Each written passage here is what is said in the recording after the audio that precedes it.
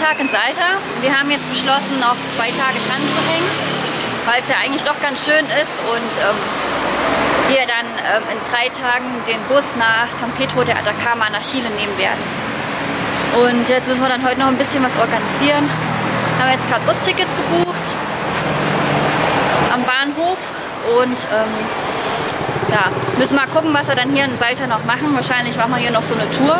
Wir haben hier schon zwei Touren gemacht nach Cachi und Cafayate. Das war eigentlich richtig cool. Und vielleicht gibt es hier noch so ein paar andere Angebote. Und nachher müssen wir dann noch gucken, noch ein anderes Hotel buchen, weil das, wo wir jetzt gerade sind, das gefällt uns nicht so wirklich. Wir hatten schon am Anfang ein anderes, das war auch günstiger und ein bisschen besser.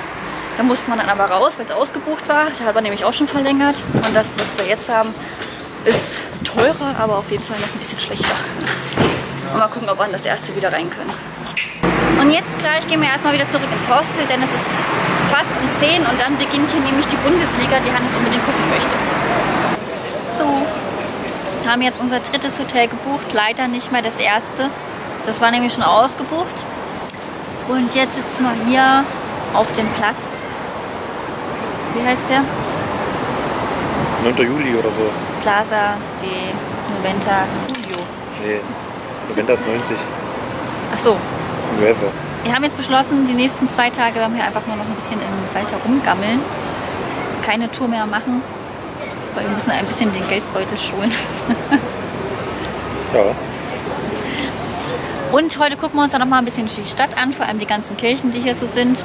Hannes ist ja so kirchenbegeistert, deswegen gehen wir jetzt da überall mal rein.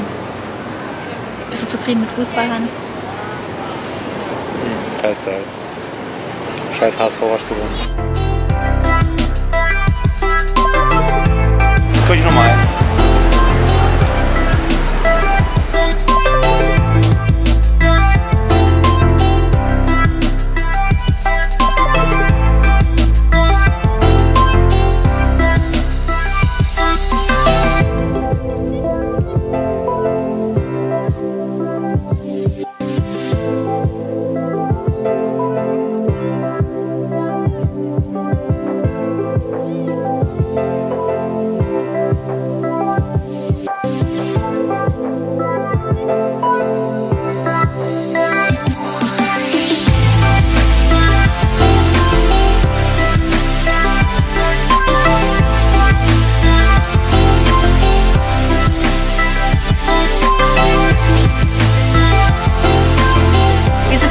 wieder auf der Bank in Salta, in dem Park.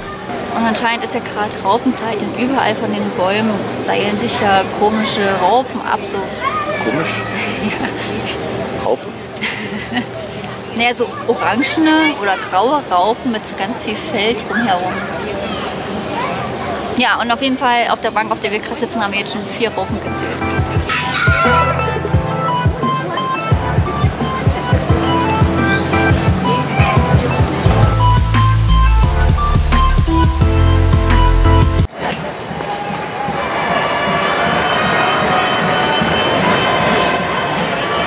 seid, da ist gerade ganz schön viel los. Der örtliche Fußballclub ist nach 67 Jahren von der vierten in die dritte Liga aufgestiegen. Und jetzt geht es hier gerade zur Sache.